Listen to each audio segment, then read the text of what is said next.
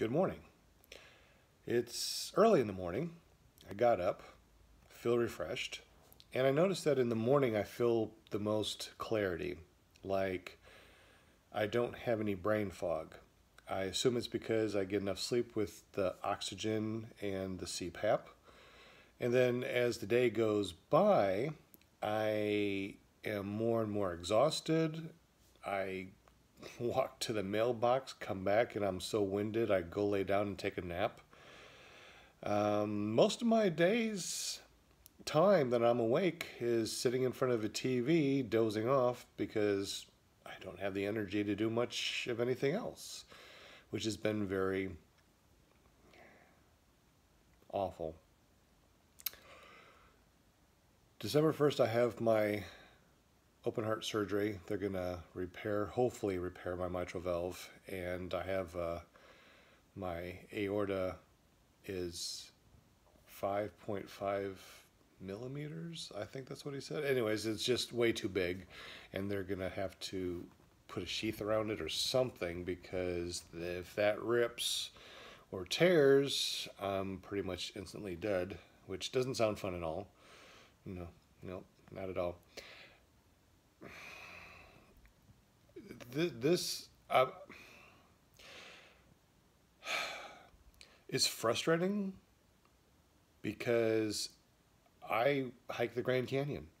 You know, I go run a mountain over here in Little Rock. I am on hiking meetups and I'm always active. I mean, never in the house. Matter of fact, over the last this last three years, it really seems like I've really started to slow down. I mean, I know I'm in school and I need more time to study and things like that, but I've really let my health go when I didn't need to. I mean, I could easily study and go for a run. I could easily study and go hiking. I could easily study and do other things, but I just got to the point that I got really winded a lot, and it's just been getting progressively worse and worse. Matter of fact, this last three years, I don't even think that I've been to the mountain but a handful of times, and before that, I was running the darn thing, you know, five, six, seven times a day. Now it's like I barely walk to to the mailbox and I'm winded. I don't like that at all. So I'm I've been doing a lot of looking on um, online, especially YouTube, for people's journeys that have had the mitral valve and just open heart surgery in general. And I've seen a lot of people from extremely young to definitely older. Matter of fact, my dad just had open heart surgery and had a valve replaced and um, bypassed and stuff. And I'm like, you know, I just feel like I'm too young to have it done. However, I'm way too young to be on oxygen. I like right now, if I'm not moving around, I'm okay without oxygen. As soon as I start moving around, that oxygen drops. I got one of those little um, SpO2 things you put on your finger, your your oxygen sensor, and when I'm standing around, off oxygen, 96, 97, no problem. As soon as I start walking around without the oxygen, man, it drops down to, you know, in the 80s. And then the other day when I went and got uh, test, they actually went into my, my actual um, artery in my, in my wrist here and pulled out some blood and said, your oxygen's at 72. And that's with me in a wheelchair on oxygen um, and, and not doing a lot of moving around, which seems to be extremely low.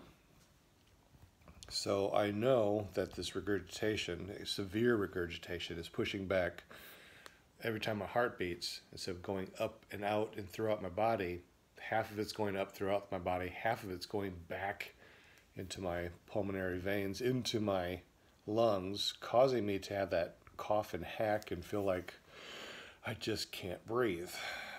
At least we know what's going on. And December 1st, they're going to repair it, and I'll be all right.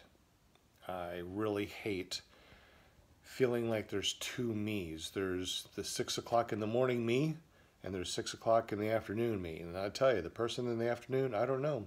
He's so deprived of oxygen, he he doesn't know what two plus two is. Of course he does.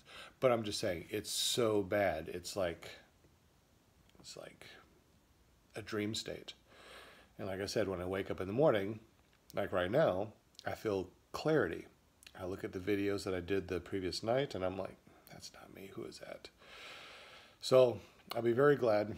Uh, if you're wondering why I'm in the garage, is because it's early and I don't want to wake up anybody in the family. So I'm out here talking, and it's really kind of bad because this is my most clarity, this is my most energetic time, and I really can't do anything. Once everybody's up, I'm already exhausted and want to go take a nap. Anyway, hell fun. So that's my video for today. That's what's going on with me. Um, today is November 21st, and December 1st, I have my open heart surgery.